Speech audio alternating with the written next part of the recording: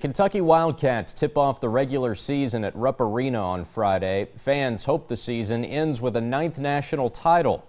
John and Ellen Calipari's lives have changed since they moved to Lexington in 2009. Jennifer Palumbo sat down with the couple at their home to hear how things are going this year. For the past seven years, this has been home for John and Ellen Calipari. Sometimes people will honk, sometimes they'll yell, you know. Sometimes you get to go big blue.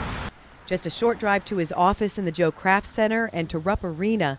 The house on Richmond Road is where you'll likely find them during the little free time they have together during basketball season. We go to dinner once or twice a week out, and she's doing her little knick-knack stuff and, um, you know, doing her crafts and all the stuff she enjoys, and she's working out and you know, and then I've got what I'm doing. Ellen enjoys making furniture in her workshop in their basement.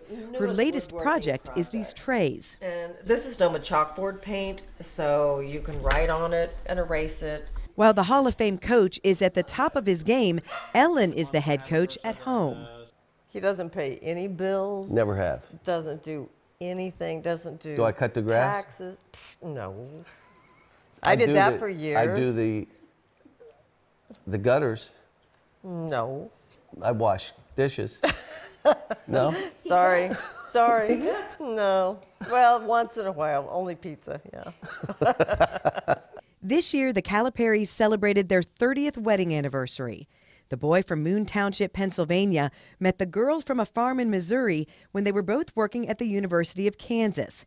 He was with Coach Larry Brown, and she worked in the athletics department. Was it love at first sight? Uh, no. no. He used to come in the athletic business, business office with his fancy shoes with the tassels on, and I'm like, oh my gosh. so, but he kind of grew on me. I'm sure for him it was love at first sight. I happened to be in the business office and said, Who is that? Their journey from Kansas to Kentucky included several stops along the way and three children. Move over. We, we were in Massachusetts eight years. Well, we were in Pittsburgh, had Aaron. Yeah. And we were in Massachusetts. And then we were there a long time, and then had Megan there. New Jersey. Yeah. Um, had, had Brad, Brad there. there. Life as a coach's wife isn't always easy. It's very hard. I never had to move growing up. I lived in the same house in the same town with my family around, and then he's got us moving around. It felt like we were gypsies along the way. And I'll, I'll give her credit. She did a great job with our kids. I mean, I don't think I was the perfect father because of the job I'm in. As much as he is out there, I don't want to be out there. And I like my privacy.